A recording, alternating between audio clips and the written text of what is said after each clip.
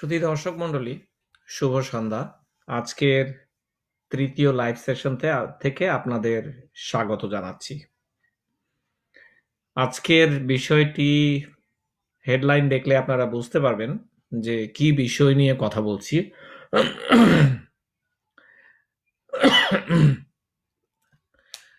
এটি বিষয়টি হচ্ছে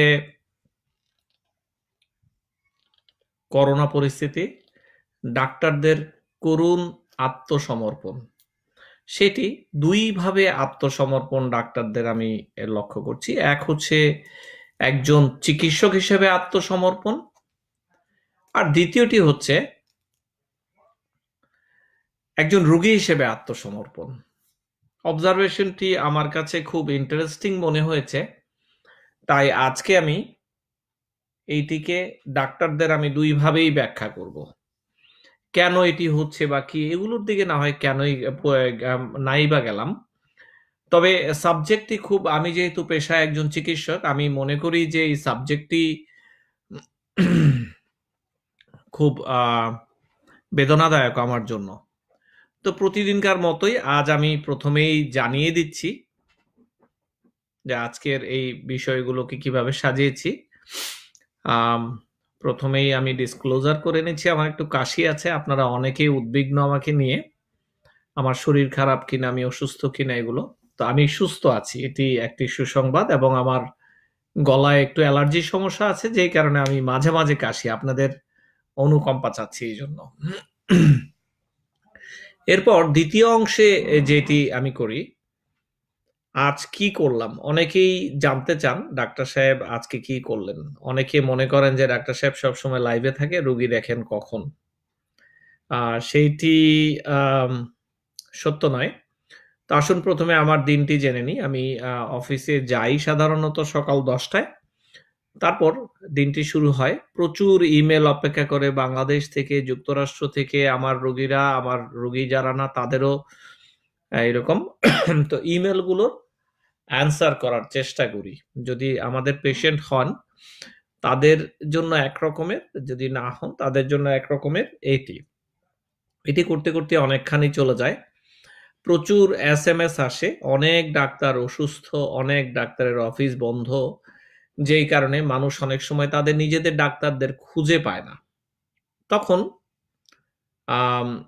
কোনো উপায় থাকে না। মানবিক কারণে উত্তর দিতে হয়। তবে প্রশ্ন, প্রথম দিকের উত্তরগুলো, প্রশ্নগুলো আমি সাধারণত জিজ্ঞাসা করি যে আপনাদের ডাক্তার কোথায়?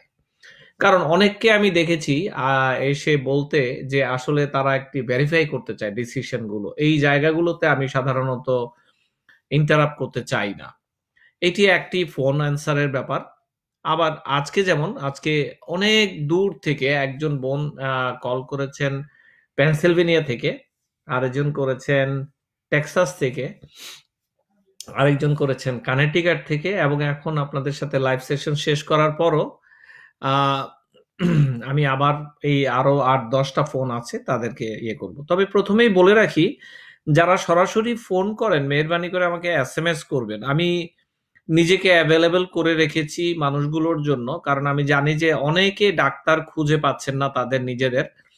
এটি একটি মহা বিপজ্জনক সিচুয়েশন তো আমি না হয় এগিয়ে আসলাম। কিন্তু মেহরবানি করে এস এম এস করবেন। কল করলে হয় কি, আমার নিজের কাজের যে স্পিড বা ধারা, সেটি ইন্টারাপ্টেড হয়। এখন ফোন কল করতে গিয়ে আজকে বেশ কয়েকটি হাসপাতালে আমাকে কথা বলতে হয়েছে, বিভিন্ন রোগীর ব্যাপারে। অনেকে আমাকে রিচ আউট করেছেন হ্যাঁ অশোক, ভালো আছি। তো অনেকে রিচ আউট করেছেন যে আমার ভাই ওখানে অসুস্থ, আমার মা এরকম অসুস্থ, এরকম। তো আমি চেষ্টা করেছি যতটুকু সম্ভব কানেক্ট করা।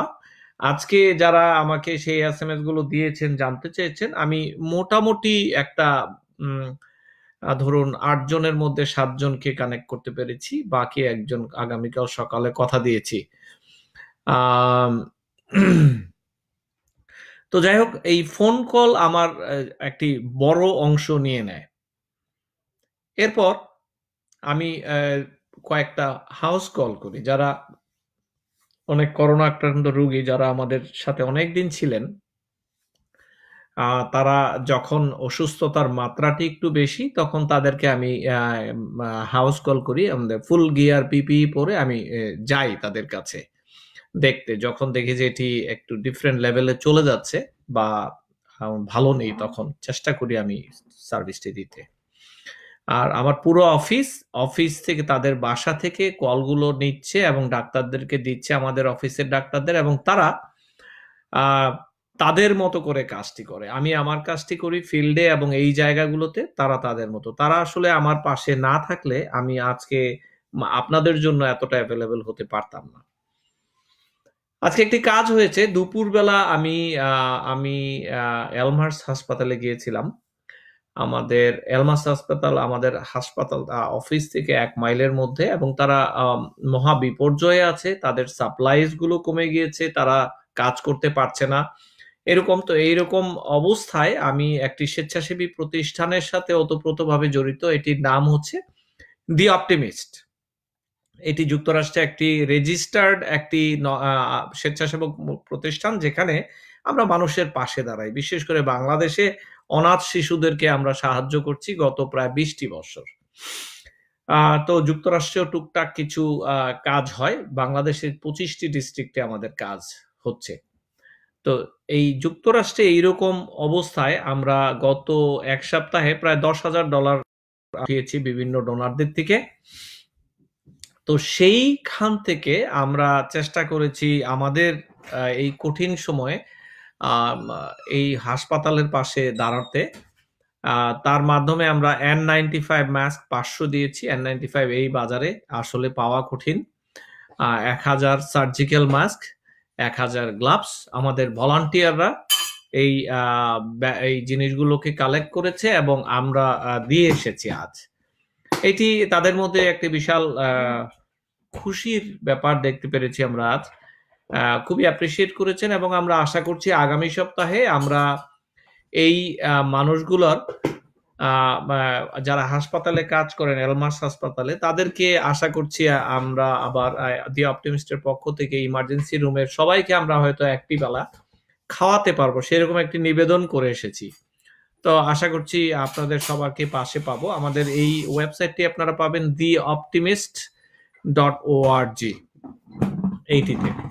আসুন আমরা আস্তে আস্তে বিষয়গুলোর দিকে এগিয়ে যাই। অনেকে একটু কমেন্ট করেন যে একটু লম্বা হয়ে যায়। সামটাইম জি, এখন তো মানুষের হাতে সময়। এই সময়টিতে আমি বসি যারা যুক্তরাষ্ট্রে আছেন, তাদেরকে টার্গেট অডিয়েন্স ধরে আমি বিষয়গুলো আনি। তারা বিভিন্ন পত্রিকায় দেখেন বিভিন্ন সংবাদ মাধ্যমে দেখেন আপডেট আমি জানি তারা অনেকে আমার থেকেও অনেক বেশি শিক্ষিত। তারপর আমি একজন ডাক্তারের অবজারভেশনে ডাক্তারের চোখে যা দেখি, মানব কল্যাণে সেটিতে আরেকটু কাজে লাগানো যায় কিনা কানেক্ট করা যায় কিনা, আমি সেইভাবে সাজাই আমার এই আধা ঘণ্টা বা এক ঘন্টাকে। তো আজকে নিউ ইয়র্ক স্টেট একটি কথা বলেছে যে তারা আসলেই হ্যান্ডেল করতে পারছে না। ইংরেজিতে বলেছে ক্যান নট হ্যান্ডেল মাইল্ড এবং moderate cases of corona situation অর্থাৎ তারা সারেন্ডার করেছে, তারা পারছে না বলে দিয়েছে মাইল্ড এবং মডারেট কেসগুলো অর্থাৎ তারা হাসপাতাল এবং ভেন্টিলেটরে যারা আছে লাইফ সাপোর্টে যারা আছে, তাদেরকেই, তাদের পাশেই দাঁড়াতে বেশি তারা আগ্রহ দেখাচ্ছে। আসলে কি করবে বলুন? স্বাস্থ্য ব্যবস্থা যেখানে একশো রোগী দেখার কথা ছিল, সেখানে সাড়ে তিনশো, চারশো রোগী চলে এসেছে। তো পারবে না তারা, এটাই সত্য। সেই জায়গাটিতেই আসলে আমাদের মতো যারা আউটডোরে কাজ করেন কমিউনিটি ফিজিশিয়ান আমাদের কাজগুলো কিন্তু সেই জায়গাটিতেই বেশি। যেই কারণে আমরা চেষ্টা করছি সরকারের পাশে থাকার যেন এই পুরো সিস্টেমের উপর যেন লোড না পড়ে। সেইটি আমরা চেষ্টা করছি। এবং এইটি আমরা যত বেশি চেষ্টা করব, হাসপাতালগুলোর উপর চাপ কম পড়বে, মানুষ তত বেশি স্বস্তিতে থাকবে। এটি একটি বিশাল মেসেজ যারা বাংলাদেশে বাঙালি বা বাংলাদেশি ডাক্তার, তাদের কাছেও আপনাদের কাছে আমার নিবেদন যে আপনারা যারা হাসপাতালে কাজ করছেন না, বাহিরে আউট পেশেন্ট করেন, তারা হয়তো ভাবছেন যে আসলে কেউ তো রুগী আসছে না। আমরা তো পিপি পরে বসে আছি। আসলে পিপি পরে বসে থাকা, রুগী আসা, না আসা এইটি ব্যাপার নয়। ব্যাপারটি হচ্ছে আপনি নিজেকে অ্যাভেলেবেল করে রেখেছেন কিনা, সমাজে আপনার জায়গাটুকুতে আপনি কতটুকু অবদান রাখছেন সেইটি হলো কথা। একজন যোদ্ধা যখন যুদ্ধে যায়, তার পেছনে বন্দুকটি কিন্তু একজন ক্লিন করে তা, গুলি ভরে দিয়েছে। সেও কিন্তু যোদ্ধা। তো ব্যাপারটি এইরকম, যিনি ট্রিগার চাপলেন, তিনি কিন্তু অ্যাবিগ্যান ওষুধ সম্পর্কে কিছু বলুন, যে আজ বলব অ্যাবিগ্যান ঔষধ সম্পর্কে। তিনি কিন্তু যিনি ট্রিগার চাপলেন, তিনি শুধু যোদ্ধা নন, যিনি বন্দুকটি মুছে দিলেন, যিনি বন্দুকটি ক্লিন করে দিলেন, তিনিও কিন্তু যোদ্ধা একই একই সমান অংশ, অংশীদার। তো এই জিনিসটি মনে রাখতে হবে, আমরা, আমাদেরকে মনে হয় যে আমরা হয়তো বড় বড় প্রফেসর নই কিন্তু আমাদের ভূমিকা জাতি, সমাজ, বিবেক এবং বিধাতা অস্বীকার করতে পারবে না। যিনি মেইন শেফ তার আশেপাশে অনেকে কিন্তু সবজিগুলো কেটে দিচ্ছে, মশলা রেডি করে দিচ্ছে। তাদেরকে কি কম ভাবে দেখবেন? দেখবেন না। ব্যাপারটি এরকমই। তো এই জায়গাটুকুতে আমাদের সবার অবদান আছে। সেইখানে সাধারণ মানুষেরও অবদান আছে এখানে। যাই হোক, নিউ ইয়র্ক স্টেট দেখুন, সরাসরি বলে দিয়েছে, আমরা পারছি না।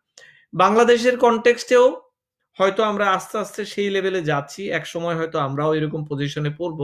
কিন্তু তা আমরা দোয়া করব যেন সেই অবস্থায় না পৌঁছাই, কিন্তু আমরা সবাই যার যার পর্যায় থেকে সেই ভূমিকাগুলো যেন রাখতে পারি, নিজেরা প্রস্তুত করুন। এইটি একটি। আসুন, কয়েকটি ঘটনা আজকে বিশ্লেষণ করি, আমার নজরে এসেছে। জাপান একটি ঔষধ আবিষ্কার করেছে। জি, আজকের বিষয় এটি, তাই সবাই শুধু প্রশ্ন করছে, স্যার জাপানের ওষুধটির ব্যাপারে কিছু বলুন। বলব বলব ভাইয়েরা, বলব। অ্যাবিগ্যান হুম। আচ্ছা। আজকের যে বিষয়টি, প্রথমের বিষয়টি বলি, আমার পরিচিত একজন, তার বড় ভাই, উনি হাসপাতাল থেকে তিন দিন আগে বের হয়ে এসেছেন কোভিড নিউমোনিয়া নিয়ে। শ্বাসকষ্ট ঠিক হচ্ছিল না, কিন্তু উনি বাসায় মেনটেন করতে পারছিলেন। তো কি হলো? আমার সাথে কথা হলো, উনি এক্স রে রিপোর্ট পাঠিয়েছেন, একদম টিপিক্যাল কোভিড নিউমোনিয়া কিন্তু তিন দিন পরে উনি আর পারছিলেন না, উনি হাসপাতালে গিয়ে বাধ্য হলেন লাইফ সাপোর্টে ভর্তি হতে। এখানে কারও ভুল নেই। আসলে অনেকে এটি, এই ধরনের ঘটনাগুলোর ব্যাখ্যা দিতে চান যে হাসপাতালগুলো বাসায় পাঠিয়ে দিচ্ছে কোনো কারণ ছাড়া। না, আসলে তা নয়। আমরা যখন দেখি হাসপাতালে এরকম নিউমোনিয়া নিয়ে মানুষ তাদের অক্সিজেন লেভেলটি মেনটেন করতে পারছে, তা এই সমস্ত মানুষগুলোকে হাসপাতালে রেখে অন্য রোগবালাই না দেওয়ার থেকে তারা বাসায় নিজস্ব পরিবেশে থাকবে, এইটি হচ্ছে আমাদের কাম্য। আপনি দেখুন সিএনএন এর যে main anchor Chris Cuomo at nine o'clock সে প্রতিদিন আসে। সে, তার কিন্তু গত এক সপ্তাহ ধরে সে বাসার বেসমেন্টে বসে সে প্রতিদিন অনুষ্ঠানটি করছে। বেচারার চোখ মুখ লাল হয়ে থাকে, কিন্তু সে কিন্তু এইটি খামা দিচ্ছে না, সে এটি বন্ধ করছে না। কেন? এতে লেসন দুইটি, তার নিজের মোরাল হাই থাকবে এবং মানুষ যাদেরকে, যারা তাকে দেখবে, ভাববে যে এই করোনায় তো আসলে মৃত্যু একমাত্র অনিবার্য নয়। এই ব্যাপারটি একটি ইম্পর্টেন্ট ব্যাপার। তো এই জন্য দেখুন, ওনারও নিউমোনিয়া হয়েছে, উনি বাসায় আছেন। এটি একটি ঘটনা। আরেকটি ঘটনা, আমার একজন বয়স্ক মানুষ পেশেন্ট আমার প্রায় আঠারো বছরের পুরনো পেশেন্ট গত পাঁচ দিন ধরে আমার সাথে কমিউনিকেশন চলছে প্রতিদিন টেক্সটে উনি টেক্সট করেন, আমি উত্তর দিয়ে কথা বলি। মনে হচ্ছিল খুবই ভালো, কিন্তু আজ সকালে হঠাৎ করে ওনার একটু শ্বাসকষ্ট শুরু হলো, কথায় মনে হলো ওনার কথা জড়িয়েছে তখন ওনাকে বাধ্য হলাম আমার পরিচিত হাসপাতালে পাঠাতে এবং আমার বন্ধু ডাক্তার মহোদয়কে বলে দিলাম যে আমার অনেক ফ্যামিলি মেম্বার তো উনি আসছেন, তুমি দেখবা। তো উনি অ্যাকনোলেজ করেছেন যে, ঠিক আছে বন্ধু, পাঠিয়ে দাও। এখানেও একটি মেসেজ আছে, অর্থাৎ অনেক রোগী এরকম বাসায় আছে, তাদেরকে এইটি পার্সেন্ট তারা বাসায় ম্যানেজ হয়ে যায়। যেই কারণে হাসপাতালগুলোর উপর লোড যেন কম না পারে, আমরা এডুকেটেড ওয়েতে যতক্ষণ সম্ভব আমরা তাদেরকে ম্যানেজ করার চেষ্টা করি। আজকের এই অভিজ্ঞতা থেকে দেখলাম যে আসলে যারা এই মুহূর্তে একটু বয়োজ্যেষ্ঠ, ষাটের উপরে এবং যাদের মেডিকেল সমস্যা আছে ডায়াবেটিস উচ্চ রক্তচাপ স্মোক করেন যারা স্থূলকায় তা বোধ হয় একটু বিপদের দিকে যাচ্ছেন। এইটি আমি দেখতে পাচ্ছি। আমি গত তিন চার দিনের আমার অভিজ্ঞতা। তাই যারা এই অবস্থায় সুস্থ আছেন, তাদের বাসা থেকে কোনো মানুষ যেন বাহিরে না হয়। আমি পরিষ্কারভাবে দেখতে পাচ্ছি, মানুষ এক ঘণ্টার জন্য আজকে একজন পেশেন্ট কল করেছেন, এক ঘণ্টার জন্য উনি দোকানে গিয়েছেন রাবিং অ্যালকোহল নিয়ে আসতে। ওনার হয়ে গিয়েছে লক্ষণ। কি বলবেন? এই যে এই ভাইরাসটি, এটি একটি আমার মনে হয় খুব আঠালো ভাইরাস। শত শত কোটি কোটি কোটি সব জায়গায় এই মুহূর্তে আছে। আমরা যাই ধরবো, ধরে নিতে হবে সেখানেই আছে। আপনি আপনি বের হলেন, আপনি একটি রাবিং অ্যালকোহল কিনতে, আপনি কিছুই করেন না আপনার বয়স পঁয়তাল্লিশ। আপনি বাসায় এসে একদিন পর আপনার জ্বর। তাতে কি লাভ হলো? আপনার থেকে চারজন একটা ছড়ানোর পর্যায়ে পড়ে গেলেন। এই ব্যাপারগুলো আসলে আমি উদাহরণগুলো দিই, প্রতিটি উদাহরণ থেকে যেন মানুষ কিছু শিখতে পারে। আমি ইউটিউব চ্যানেল কি দেখি কিনা একজন প্রশ্ন করেছেন যে ইউটিউব চ্যানেল দেখি। আসলে ইউটিউবের জন্য আমার যে ব্যাক এন্ডের যে কন্ট্রোলার আমার যে মিডিয়া পার্সন তারা আমার ইউটিউব চ্যানেল দেখে দেখেন কিনা? শামীম ভাই, মেহরবানি করে ইউটিউব চ্যানেলগুলোর কমেন্টগুলো আপনি আনবেন। দেখি ভাইদের জন্য কিছু করা যায় কিনা। কিন্তু কমেন্ট আনসার করি, তখন তো এই ফোনে আনসার হয়, যে কারণে আপনাদেরকে আমি হারিয়ে ফেলি। আপনারা ফেসবুকে আসুন মেহরবানি করে, তবেও কিন্তু আমাকে পাবেন। ডক্টর ফেরদৌস ইউএসএ আচ্ছা যেটি বলছিলাম যে মানুষগুলো এক ঘণ্টার জন্য বেরোচ্ছে একটা আইটেম কেনার জন্য, এই এই এক ঘন্টায় কাজটি হয়ে যাচ্ছে। বড় দুঃখজনক। অনেকে ভাবেন যারা যে আমার হবে না, ভাই আপনারই হবে। আমি সবাইকে বলে দিচ্ছি এই মুহূর্তে সবাইকে ধরে নিতে হবে আপনার একজন মানুষের পাশে লক্ষ কোটি করোনা ভাইরাস ঘুরছে। আপনি আপনি হয়তো ধরা পড়ছেন না, আজকে কালকে হয়তো ধরা পড়ে যাবেন। আমি সবাইকে বলি বি কেয়ারফুল কোথাও অযাচিত ভাবে কেউ যাবেন না, প্রয়োজন নেই কোনো। একেবারে একেবারে ডাইং নিড না হলে কেউ যেন বেন না হন, এইটি একটি মেসেজ আরেকটি আরেকটি নিউজে দেখলাম যে, আরেকটি নিউজে দেখলাম আমি যে, একটি পরিবার তিন সপ্তাহ ধরে তারা ঘরে আবদ্ধ। কিন্তু সেই বাসার মহিলার করোনা হলো। পরে ডাক্তাররা হিস্ট্রি নিয়ে বুঝতে পারলেন, আসলে উনি বাসার দরজা থেকে যেই মেল বক্সের মেলগুলো চিঠিগুলো আনেন, সেখান থেকে সংক্রমিত হয়েছেন। কত ভয়ঙ্কর একটি ব্যাপার আসলে। এরপর যেটি হচ্ছে, দুটি সংবাদ। হবিগঞ্জের সেখান থেকে একটি নদী, নদীর মধ্যে একটি লাশের বাক্স, খালি বাক্স বাট এটি নদী দিয়ে যাচ্ছিল। মানুষ খুব ভয় ভয় পাচ্ছিল। এইটি অনেক দূর ফলো করার পরে এই বাক্সটিকে নদী তীরে আনে। সেখানে এনে, জি আপনাদেরকে সবাইকে আজকে জাপানের ওষুধটি নিয়ে আমি আজকেই বলব, আমার কাছে ইনফরমেশন আছে। তো আনার পরে দেখল যে দুইটি বাক্সই খালি। তখন এলাকার পুলিশ আসলো, পুলিশ এসে বলল যে, না, এগুলো ধরা যাবে না। এটির মধ্যে করোনা থাকতে পারে, এটি আর ভাসিয়ে দিল। কি করা উচিত ছিল? হ্যাঁ পুলিশ যেটি করেছে ঠিক করেছে। কিন্তু কথা হচ্ছে, এই এলাকার পুলিশটি ঠিক করেছে, পুলিশ মানুষ। এইটি যখন চলে যাবে আরেকটি এলাকায়, সেই মানুষগুলো যদি ভুল করে বসে, কি হবে?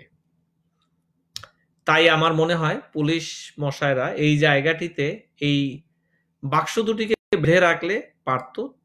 চব্বিশ ঘণ্টা পরে বা আটচল্লিশ ঘণ্টা পরে এটি সহি হয়ে যেত অথবা এটি আগুন দিয়ে পুড়িয়ে দিলেও পারতেন। এটি একটি। আরেকটি দেখা যাচ্ছে যে দক্ষিণ আমেরিকার একটি দেশে রাস্তায় মানুষ লাশ ফেলে দিয়ে চলে যাচ্ছে। কি ভয়ঙ্কর একটি ঘটনা। বাংলাদেশেও কিন্তু এই ঘটনা লাশ রাস্তায় ফেলে দিয়ে চলে যাচ্ছে। তিন চারটি লাশ পাওয়া গিয়েছে। এইরকম ভয়ানক ঘটনা। আসুন বাংলাদেশের দুইটি পরিস্থিতি নিয়ে কথা বলে আমি আমাদের ডাক্তার ভাইদের নিয়ে একটু কথা বলব। বাংলাদেশের সংখ্যা প্রতিদিনই ডাবল হচ্ছে, সামনে আরও বাড়বে। কারণ এখন টেস্টিং কিট অ্যাভেলেবল হচ্ছে। এটি নিয়ে ভয়ের কিছু আছে?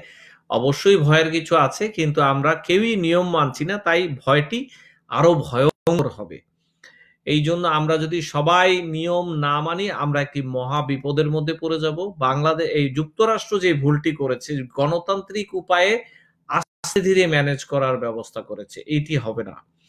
মানুষকে ঘরে ঢুকাতে বাধ্য করার জন্য যা দরকার, বাংলাদেশ সরকারের এই মুহূর্তে তাই করা উচিত। আর মানুষও বলি, আপনারা নিজেরা কীভাবে ঘরে বন্দি থাকবেন আগামী তিনটি সপ্তাহ বা চারটি সপ্তাহ, সেইটি আপনারা নিজেদেরকে জিজ্ঞাসা করুন। আপনাদের সাহায্য ছাড়া কিচ্ছু হবে না। সরকার কিচ্ছু করতে পারবে না। কোনো দেশে সরকার আইন করে কিছু করতে পারেনি। জনগণের সহায়তা লাগবে। জেলখানা নিয়ে দুটি কথা বলি। জেলখানাগুলো একটি মহা বিপদে পড়তে যাচ্ছে। বিভিন্ন দেশগুলোতে অনেকে যারা ছোট অপরাধ করেছে তাদেরকে ছেড়েও দিয়েছে।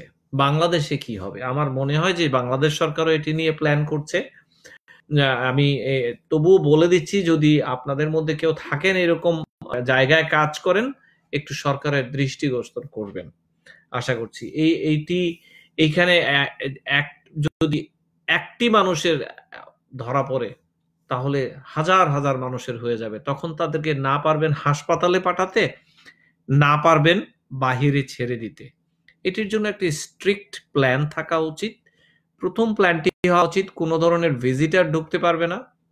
দ্বিতীয় প্ল্যানটি হওয়া উচিত, যারা এখন এই জেলখানাগুলো ম্যানেজ করছেন, তারা যেন ইন হাউসেই থাকেন। ওখানেই ঘুমান, ওখানেই থাকেন, এক মাসের জন্য ম্যানেজ করার জন্য এদেরকে। না হলে একটি বড় বিপদ হবে। আসুন, এবার একটু ডাক্তারকে নিয়ে কথা বলি। আজকে আমি দুইজন আমার খুবই ঘনিষ্ঠ ডাক্তার ভাইকে হারিয়েছি। আমাদের গত দুই দিন ধরে আমাদের মন খুবই খারাপ। একজন হচ্ছেন আমাদের বিশিষ্ট, খুব সুনামধন্য একজন ডাক্তার যুক্তরা, যুক্তরাজ্যের লন্ডনে থাকেন, ডাক্তার আব্দুল মাহবুদ ফয়সা চৌধুরী ফয়সা আমাদের ক্লাসমেটে রানীর হাজবেন্ড আমাদের খুবই প্রিয়, একসাথে যুদ্ধ পর্যন্ত করেছি। যখন চট্টগ্রাম মেডিকেল কলেজে পড়তাম, ওনার সাথে আমাদের পরিচয় প্রায়, আমার পরিচয় প্রায় পঁচিশ বৎসরের। ছোট ভাইয়ের মতো আদর করেছেন। কোথাও যাবার জায়গা না থাকলে ওনার কাছে যে জায়গা, আমরা সবাই এক মহা মানব দরদি মানুষ।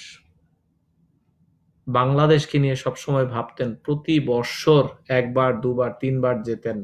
সেখানে সভা সেমিনার করতেন যেন বাংলাদেশের ডাক্তাররা কিছু শিখতে পারে। খুব বৎসর ছিলেন। আর আমরা যারা ছোট ভাই, তাদের কথা তো বললামই না, তাদের উপর যে আদর তাদের সাথে। আল্লাহ ওনাকে বেহস্ত নসিব করুন। যুক্তরাষ্ট্রে আরেকটি প্রাণ হারিয়েছে ডাক্তার রেজা চৌধুরী ব্রংসে উনি প্র্যাকটিস করতেন। আমার এই বাসা থেকে দুই মাইলের মধ্যে ওনার বাসা। উনিও খুব আদর করতেন আমাদের। খুব ভালো একজন মানুষ ছিলেন। ওনার রুগীরা, অনেক রুগীরা আমাকে রিচ আউট করার চেষ্টা করছে। ডাক্তার ভাই, আমাদেরকে একটু সাহায্য করুন, পাচ্ছি না ডাক্তার সাহেবকে। তো আমরাও চেষ্টা করছি ওনাদের রুগীদেরকে সেবা করার জন্য। তো উনি নিজেও কিছুদিন ধরে অসুস্থ ছিলেন, দুইবার হাসপাতালে ভর্তি হয়েছেন করোনা নিয়ে।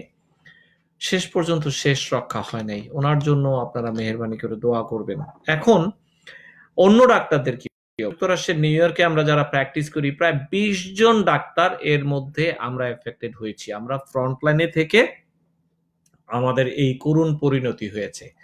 আমরা চেষ্টা করেছি প্রোটেক্টিভ ডিভাইস যতটুকু নেবার সবাইকে সেইভাবে প্রোটেক্টিভ ডিভাইস দেওয়া সম্ভব হয়নি।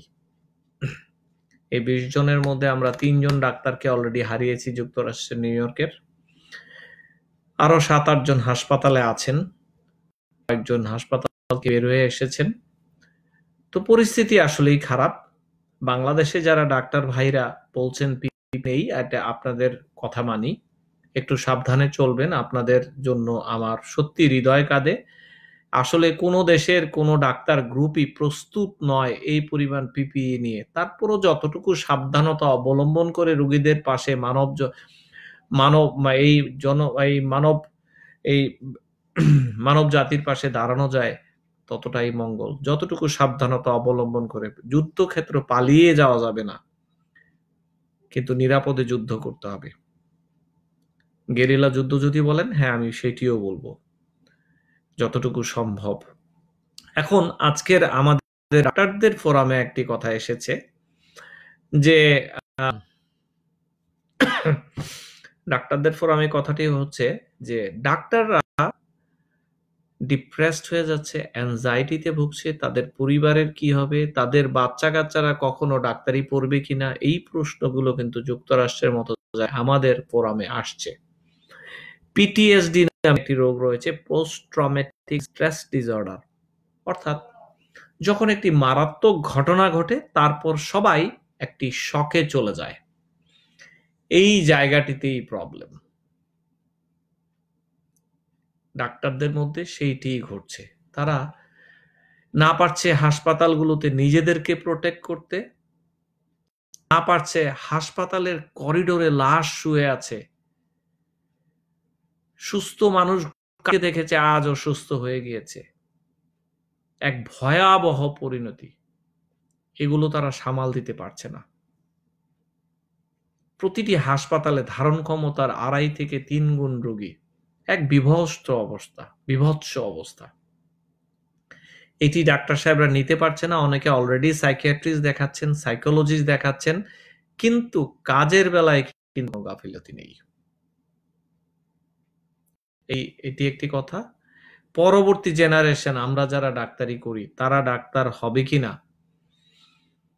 সেইটি নিয়ে অনেকেই ভাবছেন। ডাক্তার আব্দুল মাহমুদুরি তার প্রধানমন্ত্রীর কাছে লিখে গিয়েছিলেন। এইরকম চললে পিপি না পেলে, আমরা এত রিস্কে থাকলে কীভাবে পরবর্তী প্রজন্ম আপনার ডাক্তার হবে? সত্য। আর পোস্ট ট্রমেটিক স্ট্রেস ডিসঅর্ডার কীভাবে হয়? শুনুন।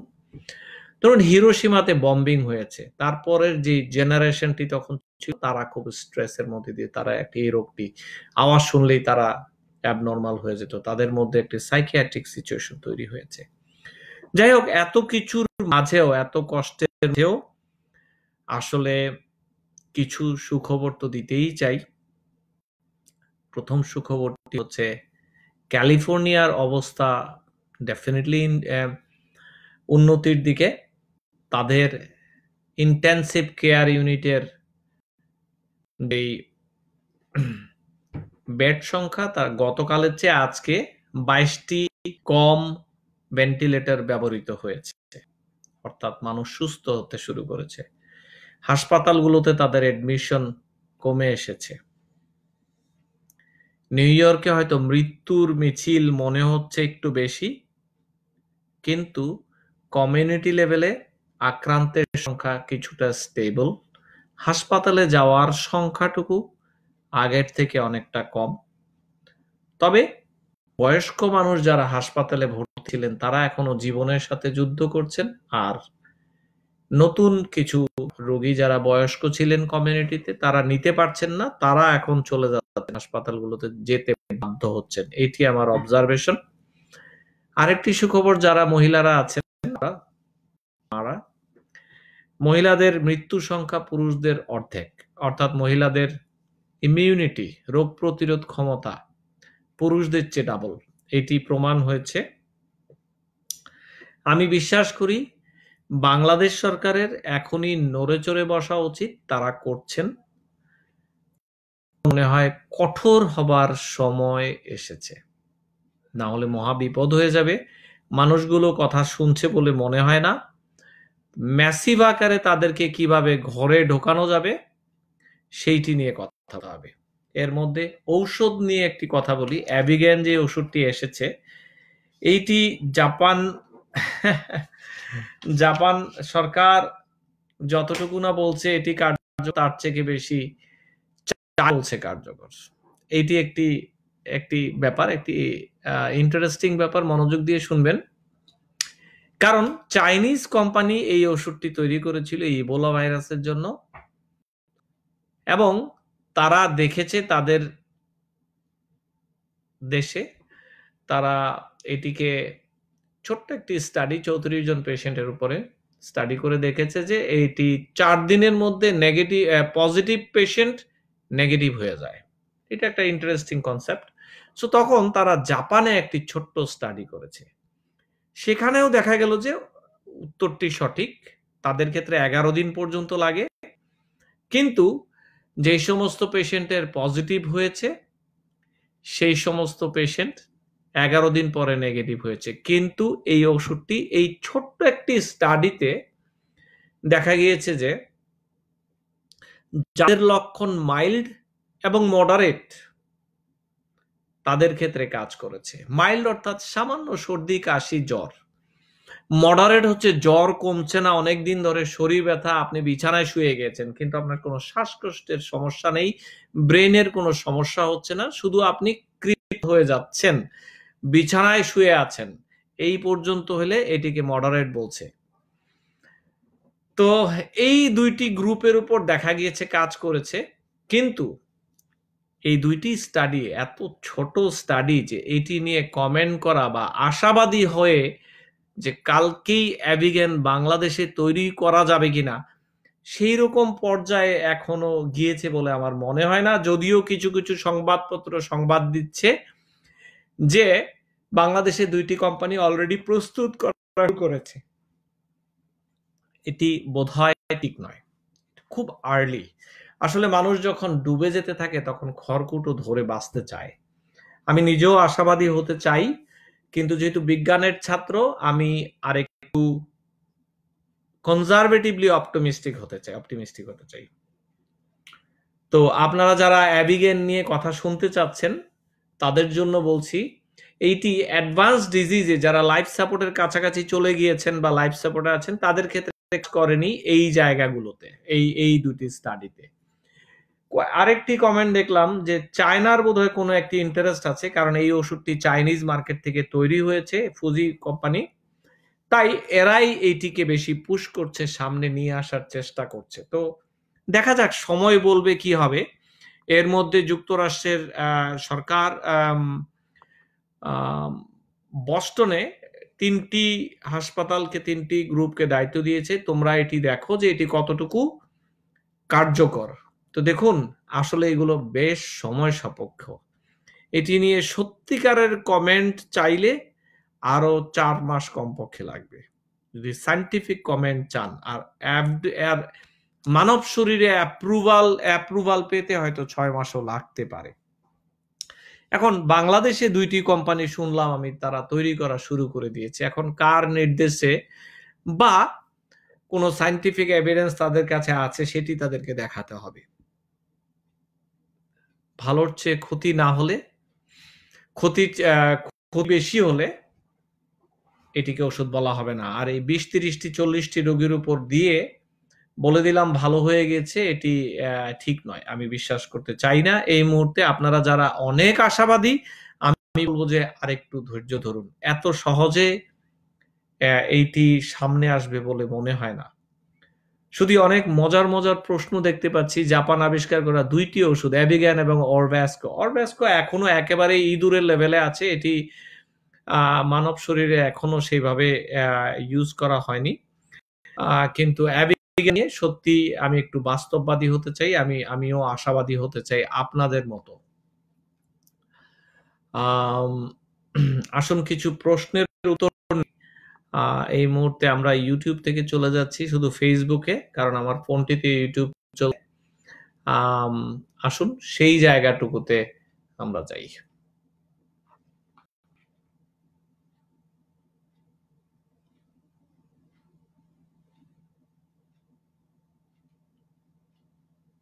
কেউ কিন্তু আজ আমাকে বলেনি যে আজকে আমাকে অসুস্থ লাগছে, আজকে একটু ডাল লাগছে, আজকে কারণ আমার সামনে একটি লাইট দিয়েছি আপনাদের সবার জন্য।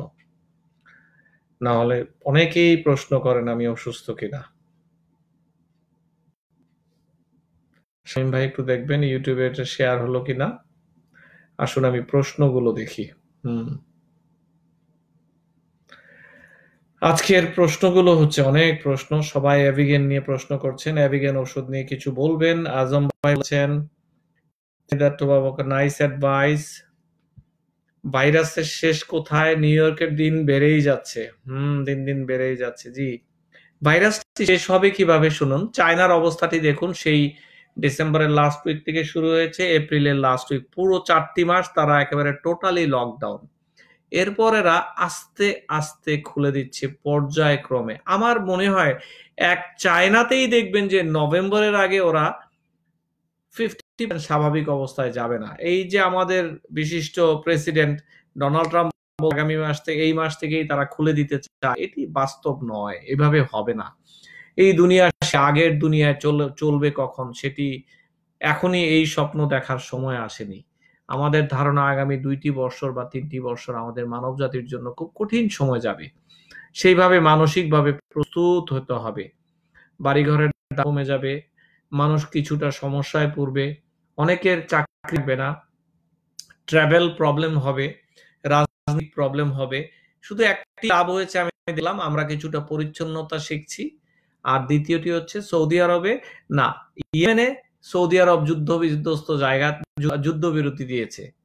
এই এছাড়া আমি কোনো, আর কোনো লাভ দেখছি না। আচ্ছা আসুন রাজনীতি নিয়ে কথা নাই বলি। নিউ ইয়র্কের স্বাভাবিক অবস্থা আসতে আমার প্রেডিকশন সেপ্টেম্বর, অক্টোবরও হতে পারে।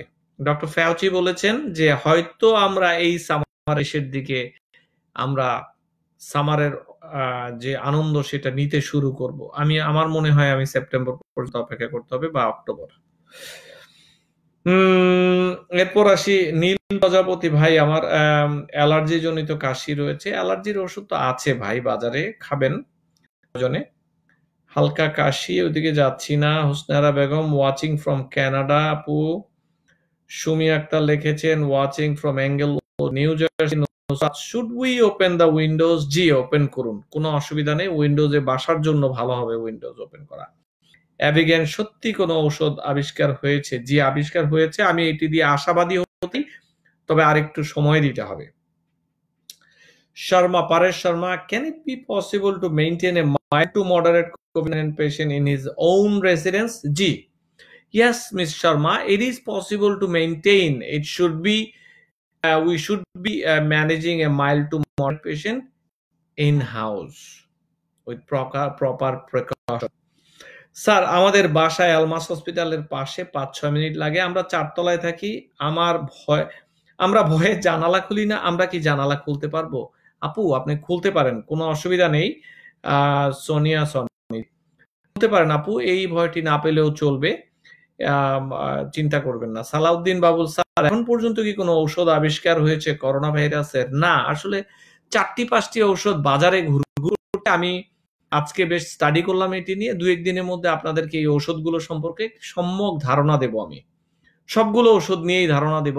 বই কি বলছে স্পেশালিস্টরা কীভাবে ব্যবহার করছে, তাদের ব্যক্তিগত অভিজ্ঞতা কি, এগুলো নিয়ে আসব। কাজী সুমন লিখেছেন sir best medicine is for mankind body problem for any kind of body problem without die ethanol নিয়ে কিছু বলুন, আগামীকাল না পরশু ইথানল নিয়ে। তবে ইথানল আইসোপ্রোপিল অ্যালকোহল যেটি আছে অ্যালকোহল সবের সেইটি একমাত্র কাজ করে এথানল মেথানল, এগুলো নিয়ে প্লিজ আপনারা চিন্তা করবেন না, এটি এফডিএ অ্যাপ্রুভ নয় ক্লিয়ার কাট আদিল নিপুণ লিখেছেন, স্যার, সবাইকে কি এক সময় করোনা হতেই হবে? হ্যাঁ এটি একটি সুন্দর প্রশ্ন। আমার ধারণা, যদি প্রতিষেধক টিকা না এসে যায় বাজারে, আমরা এই রোগটি থেকে মুক্তি পেতে হলে মোটামুটি seventy five to eighty percent রোগটি হয়ে যেতে হবে। আমি এটিতে বিশ্বাস করি, এখন নির্ভর করবে বাকিটা, কত দ্রুত প্রতিষেধক আসছে বাজারে। এখন এরপরে লিখেছেন তৈল ইসলাম, ভাই, আমাদের গ্রামের মানুষ কেন সচেতন হচ্ছে না? গ্রামের মানুষগুলো আসলে দেখুন, কেউ নেতৃত্ব দিতে রাজি না। একটি বাজারে যদি তিনজন, দুইজন মানুষ দাঁড়িয়ে থাকে, তিনজন চৌকিদারকে নিয়ে যে যে যাবে তাকেই ধরবে, তাহলে কিন্তু ঠিক হয়ে যায়। আর কিচ্ছু হবে না। আমি আমার গ্রাম থেকে বলছি, আমার গ্রাম বাংলাদেশের কুমিল্লার দেবিদ্দারের বাকসার গ্রাম। আমার ধারণা, বিশ্বাস তিনজন, দুইজন হেডামওয়ালা মানুষ যদি বাজারে বসে থাকেন, তিনজন চৌকিদার নিয়ে আর প্রয়োজন নেই। মাথায় হাত বুলিয়ে হবে না ভাই, যুক্তরাষ্ট্রেও এটি হয়নি। অথবা একজন আমাকে সাজেস্ট করেছেন যে একজন করোনা রোগীকে একটি বাজারে বসিয়ে রাখলে সবাই দৌড়ে বাসায় চলে গিয়েছে। সানশাইন জাপানের আবিষ্কার করা ঔষধ, জাপানে করোনা ভাইরাসের ঔষধ, সব জাপানের আজকে নিউজ চিপছে Can you answer please? Can you open window? Yes, you can. Badrul Siddique লিখেছেন can I go to park and walk yes এটি সুন্দর প্রশ্ন আপনি পারবে পার্কে যেতে সাথে ছয় ফিটের জন্য কেউ না যায় আপনি মাস্ক পরবেন অবশ্যই ফুলিপ জামা পরবেন এবং বাসায় বাহির থেকে এই জামাটি ধুয়ে ফেলতে হবে অথবা একটি প্লাস্টিকের ভেতর আটকে রাখতে হবে নির্দিষ্ট সময়ের জন্য তবে যখন মানুষ কম থাকে তখন বাহিরে যাওয়াই ভালো আমি বিশ্বাস করি জিকো চৌধুরী সালাম ভাই, আমি অ্যালমার্স থাকি। আমি নাইনটিনে কোভিড নাইনটিন সিক ছিলাম। আমি সুস্থ আজ তিন দশ দিন, খুব ভালো। এখন শরীর খুব দুর্বল। একবার শর্ট ব্রিদিং হয়। হ্যাঁ ভাই, এই জায়গাটিতে আমি বলি, এই কোভার কোভিড নাইন্টিন নিয়ে যে দুর্বলতা, এটি আপনার এক মাস পর্যন্ত থাকবে। তিন সপ্তাহ থেকে এক মাস। কিচ্ছু ভালো লাগবে না, দুর্বল। খেতে ইচ্ছা করবে না। আপনার ভাই এই মুহূর্তে যা খেতে ইচ্ছা করে খাবেন।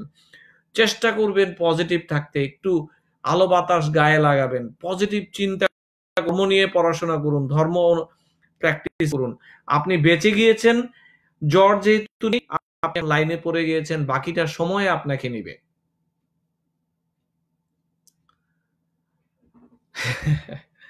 আচ্ছা ইথানল আবারও প্রশ্ন, করোনার লক্ষণে কি প্রথমে হালকা গলা ব্যথা করতে পারে? হ্যাঁ হালকা গলা ব্যথা, শরীর ব্যথা, শরীর কামড়াবে প্রচুর প্রথম দুই দিন।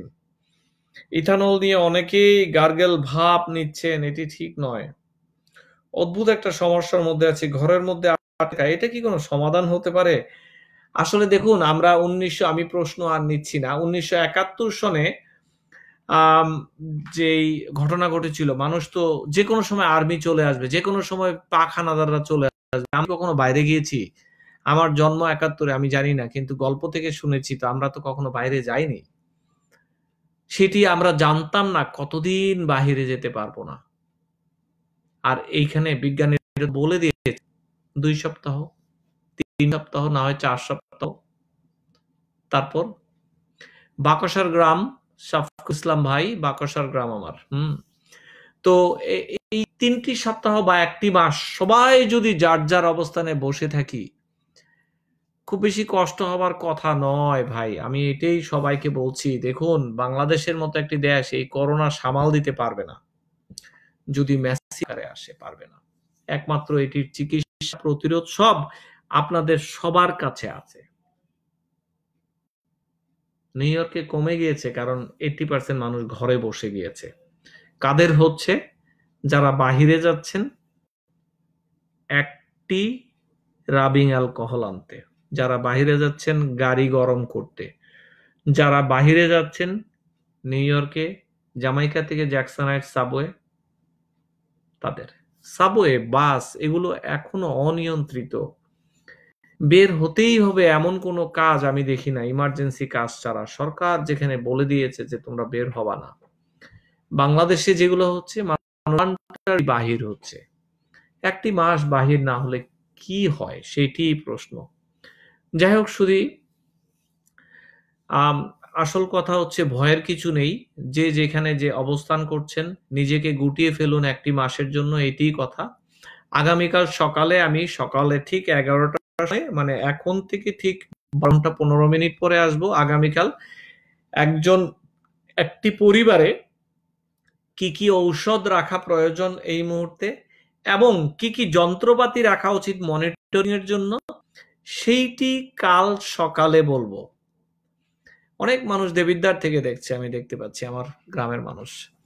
তো কালকে সকালের বিষয়টি খুবই স্পর্শকাতর সবাই চেষ্টা করবেন, এখন থেকে বারো ঘণ্টা পনেরো মিনিট পর আমি প্র্যাকটিক্যালি দেখিয়ে দেব কি ওষুধ সবার একটি পরিবারে থাকা উচিত, সাথে কি যন্ত্রপাতি থাকা উচিত, আমি প্র্যাকটিক্যালি দেখিয়ে দেব। এটি অবশ্যই লাগে।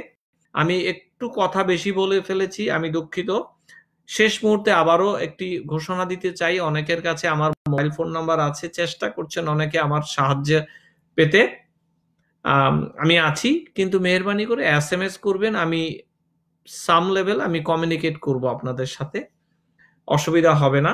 আগামীকাল থেকে আমার অফিসে যুক্তরাষ্ট্রের নিউ ইয়র্কে যে আমার অফিস সেখানে আমরা কিছু চাল, ডাল, কিছু কুকিজ কিছু ক্রোসান্ট রেখেছি। এগুলো আশা করছি যাদের প্রয়োজন, একান্তই প্রয়োজন, এসে আমার দরজায় নক করবেন বা আমাকে এস এম এস করবেন, তারা নিতে পারবেন। তারা কিছু নেই। শুধু এইটির জন্য যেন আপনার বাহিরে এসে সমস্যা না করেন। এটি আপনার কাছে আমাদের আবদার। যারা জ্যাকসনাইটসে থাকেন, শুধু তাদের জন্য। যারা আসতে পারেন, অন্যদের জন্য পরে বলব। বাংলাদেশে আমার একটি ওয়েবসাইটের মাধ্যমে আমার পুরো টিম কাজ করছে করোনা সেবা ডট কম। এখানে আপনারা অনেক কিছু পাবেন, আপনাদের সাহায্য, সহযোগিতা, সব এখান থেকে অনেক কিছু আছে। আশা করছি সেই সেবাটি নিতে পারবেন। আমার সাথে থাকার অসংখ্য ধন্যবাদ। আগামীকাল সকালে আবার দেখা হবে ইনশাল্লাহ আমি ডাক্তার ফেরদৌস খন্দকার, যুক্তরাষ্ট্রের নিউ ইয়র্ক থেকে বলছি শুভ